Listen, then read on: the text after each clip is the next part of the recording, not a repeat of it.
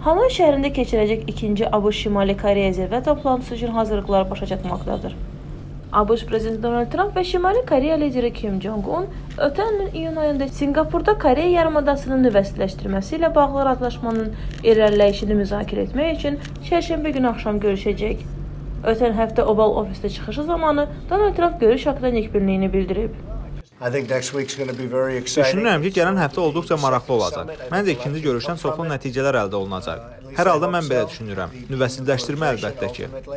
Zirvə görüşünün nəticəsi yarımadanın həyatına birbaşa təsir göstərdiyindən Seul sakinləri görüş haqqında çox şey söyləyib. Uzun zamandır Seulda yaşayan Koreya Amerikalısı William Cho Hanoy zirvə görüşündən hansı nəticə əldə olunacağına əmin olmasa da, ümumiyyətlə nikbin fikrə malikdir. I don't think that it has to be denuclearization. Bunun nüvəsizləşdirmə olmalı olduğunu düşünmürəm. Lakin o BMT və Konqresin sanksiyalarının lazımi yumşalması üçün nə isə etməlidir.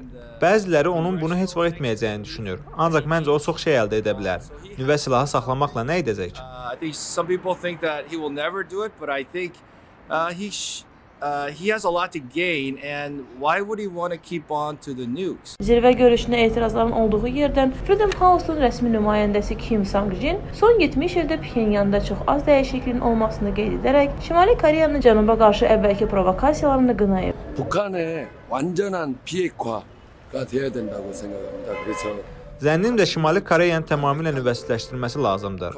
Nüvə silahları, döyüş başlıqları, işə salınma vasitələri və texnikalar aşkar edilməli və nüvəsizləşdirmə tədbirləri tamamlanmalıdır.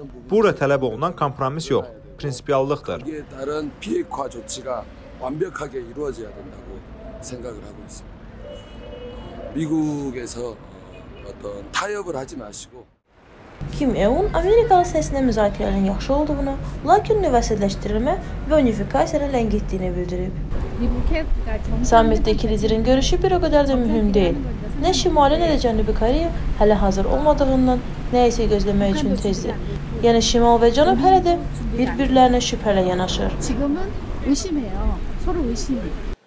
Tramp və Kim arasında ikinci sammit fevralın 27-si və 28-də başlayacaq.